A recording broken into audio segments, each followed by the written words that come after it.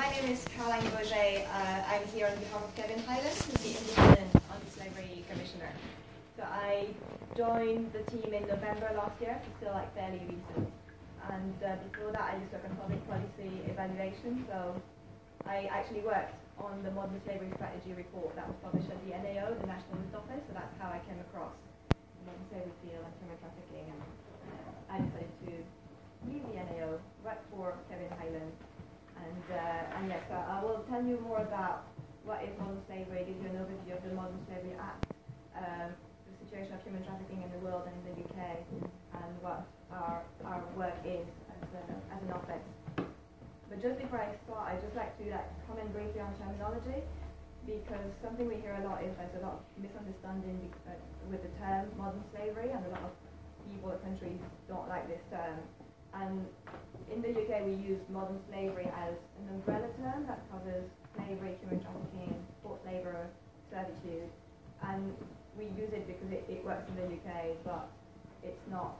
What matters is not the name of the crime. What matters is like it's a crime that is about exploiting vulnerable people.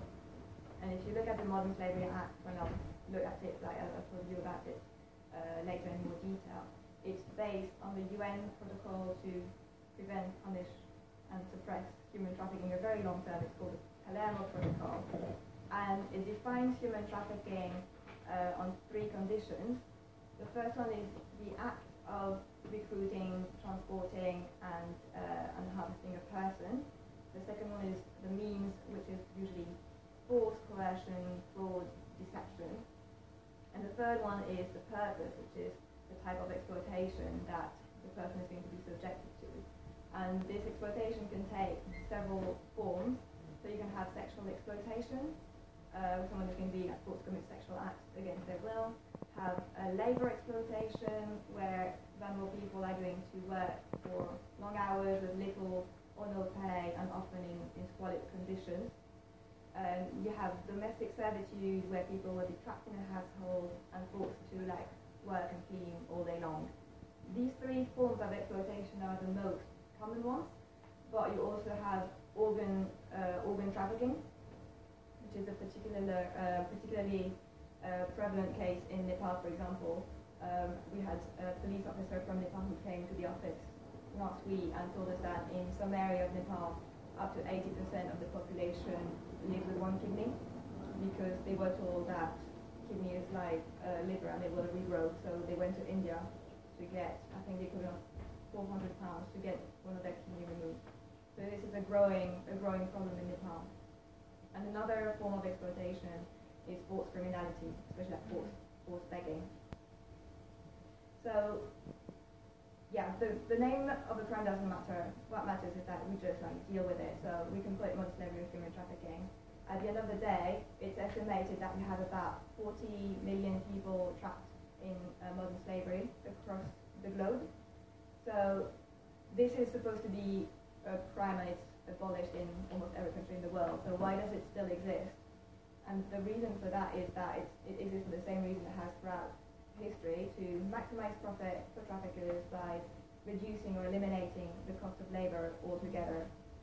And uh, human trafficking is considered one of the most lucrative uh, traffic after drug trafficking and, and arms trafficking. And it's estimated that it uh, brings profit of 150 trillion dollars a year for traffickers to give you an idea of like the amount of money that is involved. And some studies have been made as well as to like the cost of a slave today is actually much, much cheaper to the cost of a slave back during the transatlantic trade. So it's actually more common now in terms of number and in terms of price than it used to be in the past.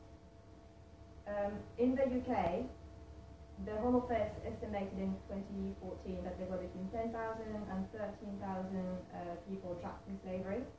So that was four years ago. Now the National Crime Agency thinks that it's probably much higher, and possibly we're, we're thinking tens of thousands of people in the UK are trapped in modern slavery uh, we this is much more uh. Last year, um, there were 5,145 people who were referred as potential victims uh, of modern slavery. More than 40% of them were children. And uh, although they come from all over the world, one of the top nationalities is actually British. And last year, yeah, last year the first nationality of potential victims referred into the national referral mechanism was actually British children, mainly British children. 820 British nationals referred into the system. So it's not just an international issue, it's actually the domestic issue that the UK has to deal with. And if you look at the other countries that are part of the top five countries of origin, the other ones are Albania, Vietnam, China, and Nigeria. And this has been consistent uh, over the past like five years. So this is the state of the problem. Now, to deal with it, Theresa May, when she was Home Secretary, she introduced the Modern Slavery Act in 2015. And this legislation introduced like a few key measures. One of them was to increase penalties for traffickers. So before 2015, uh, a trafficker could face up to 14 years of imprisonment if convicted. Now the maximum penalty is life imprisonment. So it hasn't been used yet because it's still fairly new legislation. It takes a long time to prosecute and convict people, but you, you can now be like, facing life imprisonment. A second measure was the introduction of the risk and prevention orders. So that's tools that the police uh, can use to uh, restrict traffickers' movement. So, for example, they can ban people from traveling, confiscate their passport, if they suspect that someone is uh, involved in human trafficking. So the person doesn't need to have been convicted yet. It's enough to have a suspicion. Third measure was improved protection for victims, so that they get better measures to testify in court. So, for example, video conferences, so that they don't have to actually face uh, the traffickers. Um, the fourth measure was the transparency supply chain um, section. So this this is really important. And that's something that has really picked up uh, recently. It requires large companies, so that have a turnover of over 36 million uh, pounds a year, to produce an annual statement and say what steps they've taken to eradicate forced labour in their supply chain. So in, in theory it's great. The problem is the legislation says that the company can say what steps, if any, they've taken. So it's a very light touch section, so a company can very well say we've taken no steps at all and they'll be compliant with the legislation. But still, a lot of companies like Marks and Spencer and Unilever Apple have taken this very seriously and actually have looked at their supply chain. And what we've seen is that, contrary to what companies were afraid of, that if they said, oh my god, we found this in our supply chain, they get a terrible reputation. And actually those who said, we found this, but we've dealt with it, they've actually benefited from it. So, because no one expects supply chains to be free of, of slavery. And actually it would be more suspicious if the company said you found nothing and we're perfect. And no company can actually say we're slavery free. Like we're constantly striving to be, but you can't for sure that your supply chain is perfect if you're labor exploitation. And the last measure is the introduction of the Independent Anti-Slavery Commissioner, who I work for. So his name is Kevin Hyland. Uh, he was appointed in 2015, and he's actually going to step down. So in September we'll have a new commissioner. And the reason for that is that in his title you have the word independent. So he's supposed to be completely independent of government. He's appointed by Parliament and reports to Parliament. But Kevin Hyland felt that the Home Office tried to interfere with his role over the past four years, which hopefully will not happen with the next one, but that's, that's why he's stepping down. But uh, his role is to spearhead the fight of the UK to um, fight modern slavery domestically but also internationally. So he's got an international remit as well because he's the, actually the first one of the kind to have that, that specific role. He's got two aims. First one is to see an increase in the number of victims referred and benefited from adequate support. And in parallel to that, see an increase in prosecutions and convictions traffickers. And so I've already said he's independent, which is like a key element that needs to be preserved and we'll fight very hard to have that. But an important fact as well is that he's got statutory powers over public authority. So that means that police forces, the health service, immigration officials, customs, uh, labour inspectorates, local authorities, they all have a duty to cooperate with the commissioner. So he can request any information he wants they have to cooperate. So it gives him it gives him quite a lot of power to influence uh, policy and make recommendations directly to government. So he's got a, a strategic plan over three years, so we're in the process of like having a new one now. But the strategic plan is based on five priorities. Uh, first one is victim care and identification.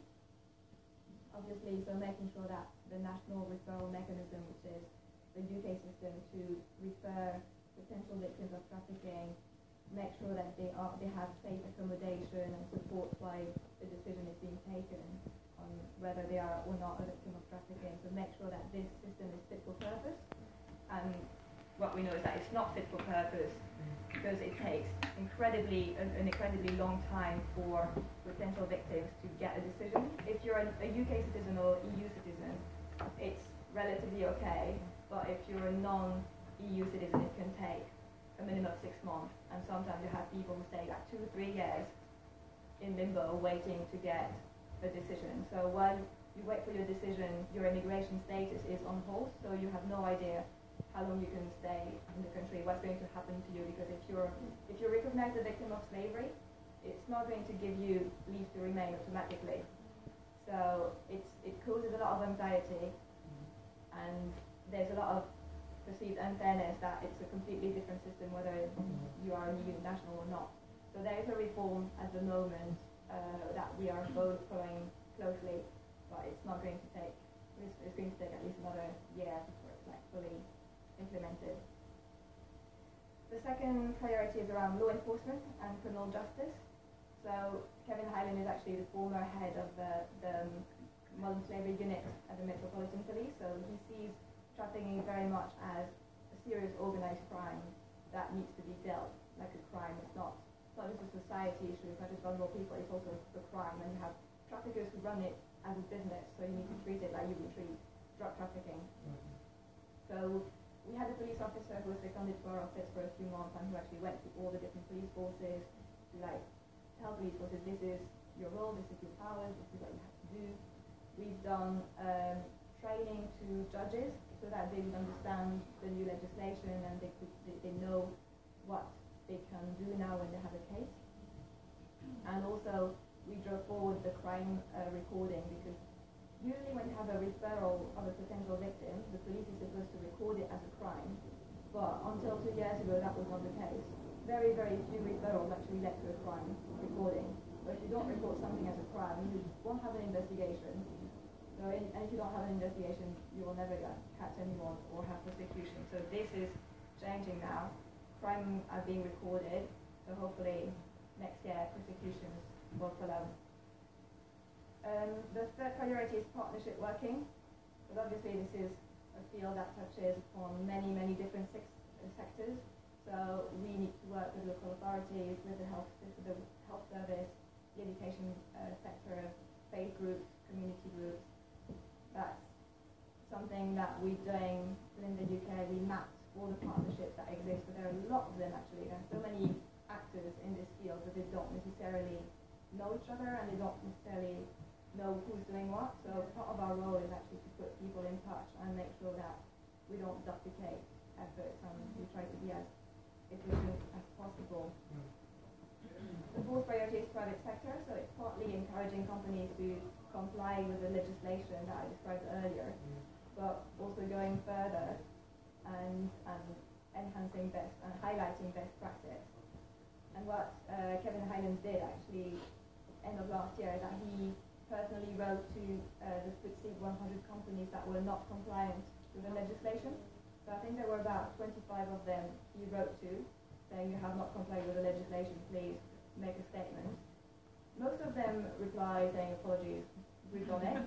For those who have not replied, they will have a nasty surprise in a couple of weeks because they will receive a second letter. This time that will be signed by investors. And that we know that if the investors get involved, and actually some companies have told us we will do what the investors tell us to do.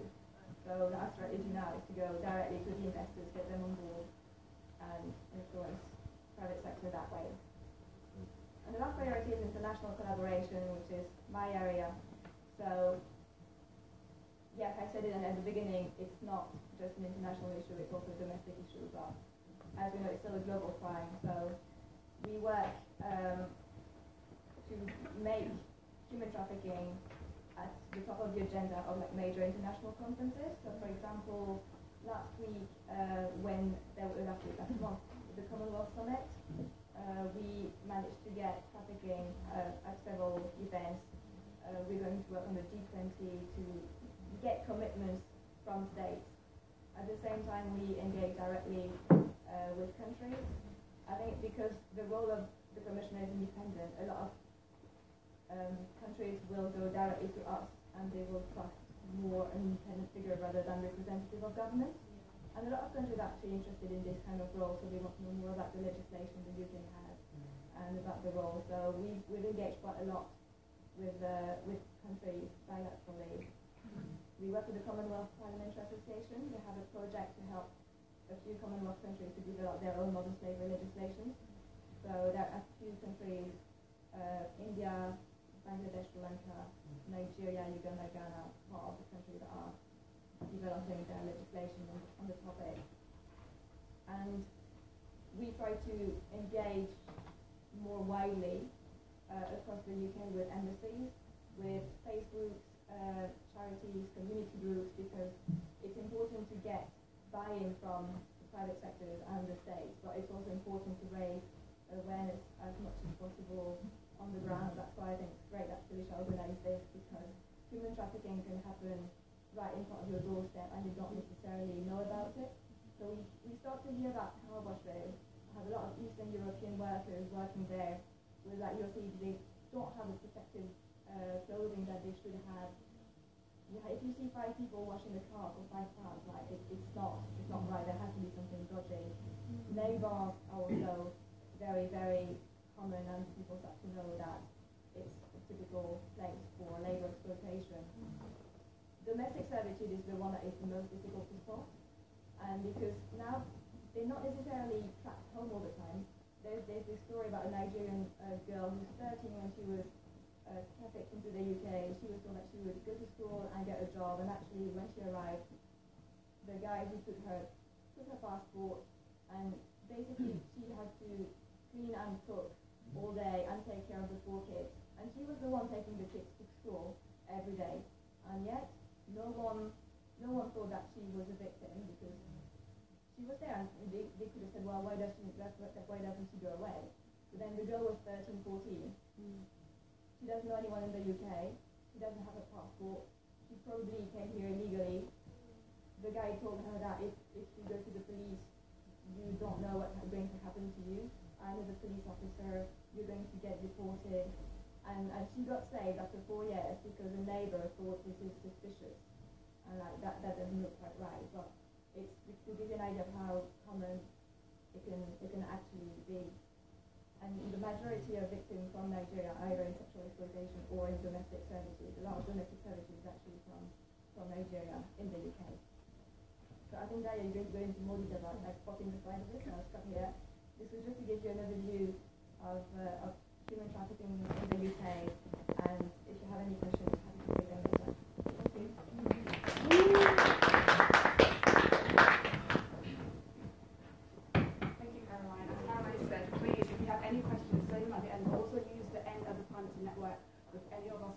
anyone else in the room also. So without further ado, I'd like to introduce our second speaker, who is Mr. David Upshay. Thank you very much. I think my time is fully off, really. uh, good evening, everyone. Um, I really want to appreciate um, Elena and um, Felicia. You know, thank you very much for this session, but also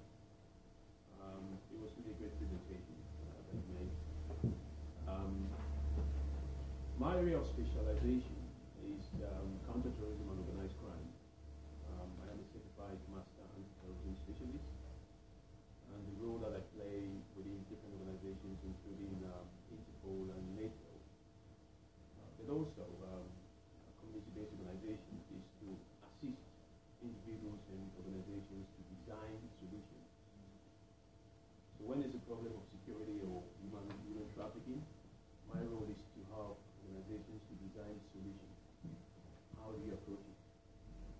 The reason why I'm saying that is because you're all here because you want to know something, either as researchers or as online practitioners, or you know you work within the areas of policy, or maybe just as observers. Um, and in order for you to actually have uh, an impact on the issues of human trafficking, then you must be able to have the right solutions. And we say that in order for you to solve the problem right, you have to solve the right problem. Um, it means the first and foremost responsibility that you have is to understand and have a better knowledge of whichever threat you're trying to counter. And in this case, if you're trying to counter human trafficking, then you must understand the dynamics of it. I won't go back to the definitions and everything because you've done a very brilliant job for that. So the purpose of this is for you to understand the knowledge, to have a very good grasp of human trafficking. From the victim's perspective, from the perspective the that of the country or maybe a village or a town where that individual comes from, and that from the destination or where the individual is going. So if you're talking about internal human trafficking, then you're looking at the internal dynamics of the country. So if you're talking about external human trafficking, then you should be looking at the maybe uh, countries like Libya, um, the United States, uh, UK, and Italy, and things like that. The reason why you have to do that is because you know when a problem of human trafficking, as you mentioned, is a huge, is a huge problem. So in order for you to get the best out of it, you must be able to dissect the problem in very, very small parts. And that is how we design solutions. So you take, for example, how do you intervene when it comes to victims? And you design a strategy on how to tackle the issues of human trafficking, trafficking from the victim's perspective. Then you move on to the perpetrators. So within the within that framework, you will now have issues to do with countries designing their human trafficking legislation.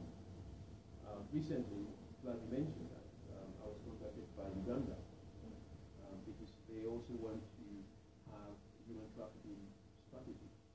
The Gambia also is one of the countries which, you know, um, uh, is taking a lot of um, migrants who are coming back from the Mediterranean. And we are also looking at designing human trafficking and, and but also strategies. So the point I'm trying to make today is, in order for you to take home something important from this, is to understand that the more knowledge you have of the subject matter, which is human trafficking, the more responsibility you can take. Mm. And the more responsibility you can take, the more control you can have over the threat in terms of you providing a solution or you being a researcher or just an observer.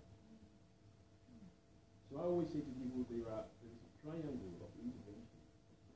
That triangle of intervention knowledge at the top of the triangle. And at the bottom left of the triangle, it puts responsibility.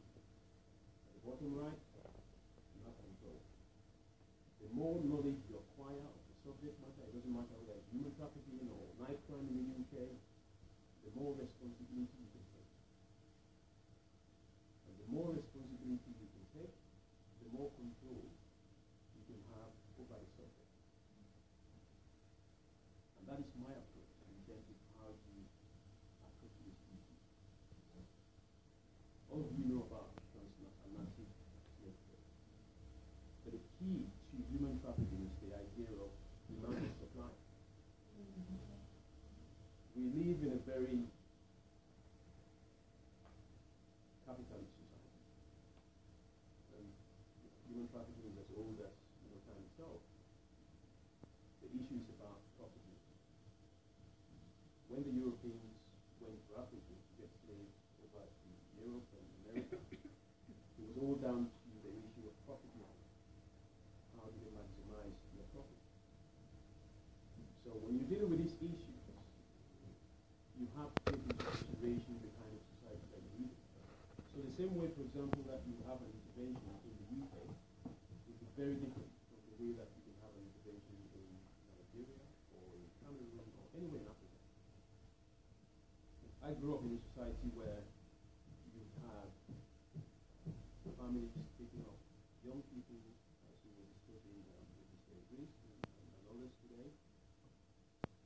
And you have very successful stories where young people can be looked after by these families because their, maybe their parents couldn't send them to school, or maybe you know, they're orphans.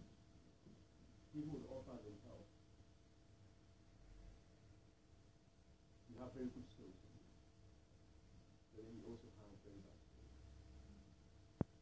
Now, it becomes a problem if you're doing an intervention. When do you actually know if this young person that has been taken from the village onto some rich home and been promised you know, education and training, when do you actually know if this is actually working well for that young person? So it comes down to the regularization, you know, how do you regulate these people?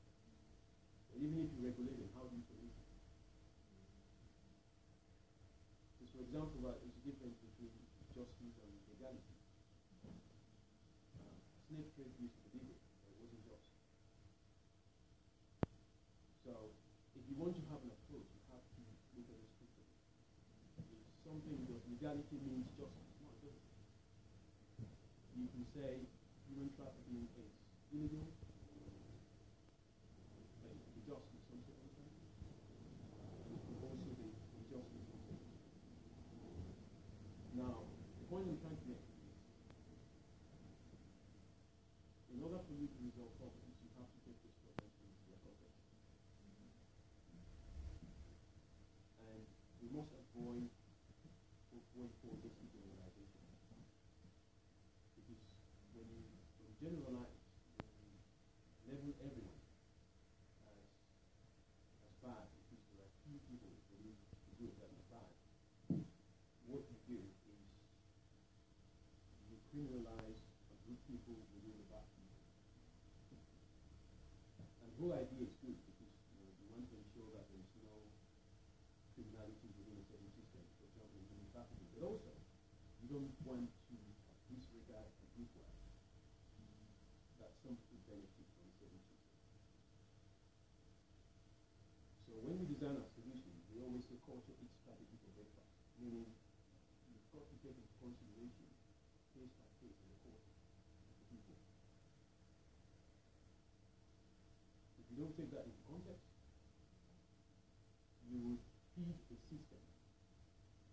So, for example, you always have anti-human trafficking groups, uh, organizations that will be forever because they are being fed by the system. I used to say, for example, if you if you are, for example, the United Nations and your role is to solve the problem, and then you never solve that problem, it means you also have a problem. because if the role of the the Peace and Security Council is, for example, to bring peace in the world, and maybe after 50 years they haven't got peace in the world, so they have to. In my country, they say you have to look at the report card. And by looking at the report card, you have to look at where you, you have a pass mark, where you have a fail mark, and then you work on that.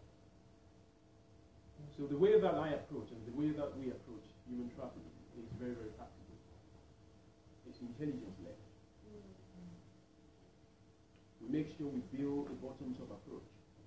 And bottoms-up approach means you to understand the specific vulnerabilities of the environment that you're dealing with, the specific vulnerabilities of the individuals that you're dealing with.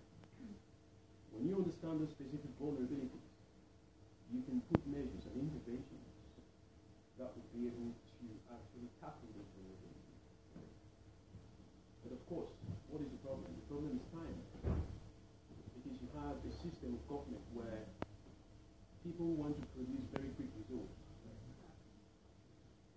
And one system of government that is in power, they don't want to take too much time dealing with human trafficking because you know they have other things that they're dealing with.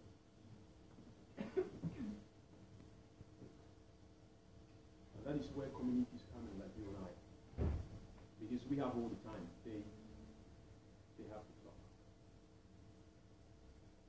We can do our interventions without politics because you know we want to do good in the communities.